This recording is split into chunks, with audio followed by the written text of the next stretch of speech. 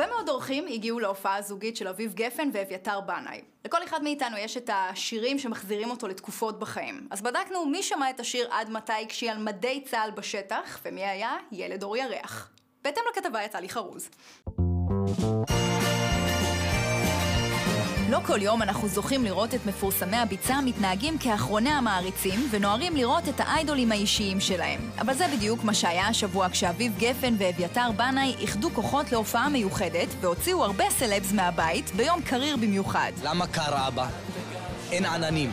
אין עננים, נכנסת רוח מטורקיה. הרוח מגיעה מטורקיה, נכנסת פנימה תוך כדי, כמו, אה, איך קוראים לזה? קצת טראח לתוך מדינת ישראל. מי לא היה שם? טיטי איינאו עם החבר, לירון רביבו חמושה בצמד האחיות, ישראל אטיאס, עידן יניב, עומר רוזן, אנה בול, וכוכבי הילדים דניאל ליטמן ותובל שפיר ב bonding גברי. היום הדייט שלי הוא תובל, אנחנו באנו בתור זוג, אז אני מאוד מתרגש, זה הדייט הראשון שלנו ביחד. ממש. דייט הראשון שהוא קורא לו דייט. אני מבחינתי זה, אנחנו יוצאים כבר שנים.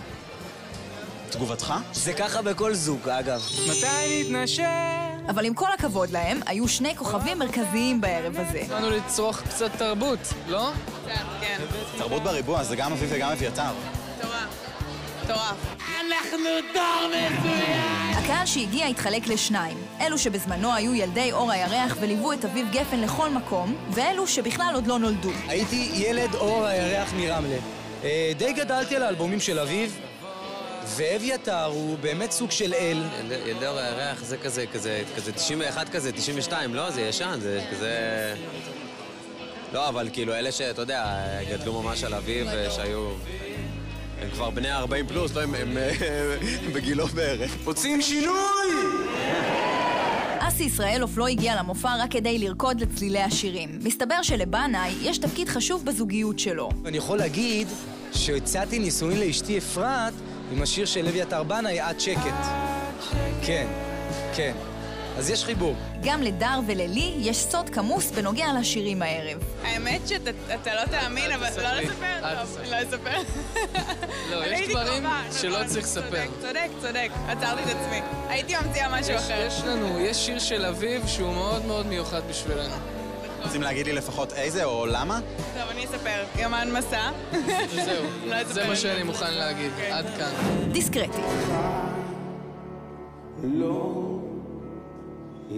עוד מעריצה שרופה שלא הייתה מוותרת על ההופעה הזו, היא השורדת טיטי, שהגיעה ממש בדקה ה-90. אביתר בנאי ליווה אותי בתקופות אה, מאוד קשות בחיים, ואסור לך לחשוב שאת כל כך עייפה אי פעם הרגשת שהוא שר את זה בשבילך? טיול.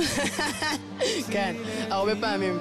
היית שומעת אותו שהייתי עושה בהג- בהגנ"שים, כאילו בצבא, בבה"ד 1, אה, שהייתי יוצאת לשבועות שטח עם החיילים שלי, ונגמר לי יום, אני עייפה אחרי שאני כל היום במטבחים עם החיילים, ואני שמה אותו שנייה לפני שאני נרדמת, והוא היה מסדר הכל. לדעתי התחילו את ההופעה.